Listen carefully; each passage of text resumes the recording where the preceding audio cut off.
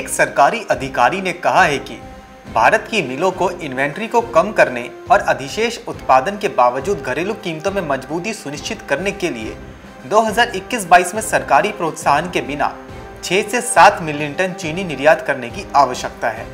दुनिया के दूसरे सबसे बड़े उत्पादक द्वारा चीनी का निर्यात वैश्विक कीमतों को सीमित कर सकता है, जो इस महीने चार से साढ़े चार साल के उच्च स्तर पर पहुँच गया है। इस उम्मीद में कि शीर्ष उत्पादक ब्राज़ील से आपूर्ति सूखे और ठंड के परिणाम स्वरूप घट जाएगी। खाद्य और सार्वजनिक वितरण विभाग के संयुक्त सचिव सुबोध कुमार सिंह ने मंगलवार को एक वेबिनार में कहा था कि चीनी मिलों को उच्च अंतर्राष्ट्रीय कीमतों का लाभ उठाना चाहिए और अधिकतम मात्रा में निर्यात करना चाहिए।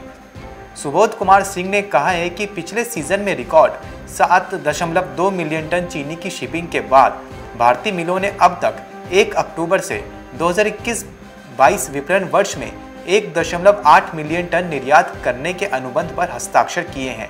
उनका कहना है कि अफ़गानिस्तान और श्रीलंका प्रमुख खरीदारों में से थे, लेकिन दोनों की मांग स्थानीय कारणों से बाधित हुई है और मिलों को नए बाज़ार खोजने की ज़रूरत है, जो ब्राज़ील पर निर्भर थे। विश्लेषक ने वेबिनार को में बताया कि वैश्विक कच्चे चीनी की कीमतों को 20 सेंट प्रति पाउंड से ऊपर उठाने की ज़रूरत है, ताकि भारत चालू वर्ष में 5 से 6 मिलियन टन का निर्यात सुनिश्चित कर सके, क्योंकि सरकार सब्सिडी प्रदान नहीं कर रही है। नई दिल्ली ने पिछले तीन वर्षों से निर्यात सब्सिडी बंद कर दी है।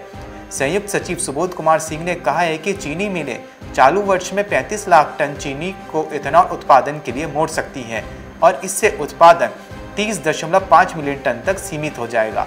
लेकिन ये 26.5 मिलियन टन की स्थानीय खपत से अधिक होगा।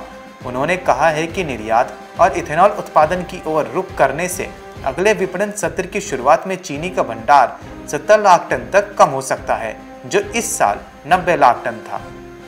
Bureau report, market times, TV.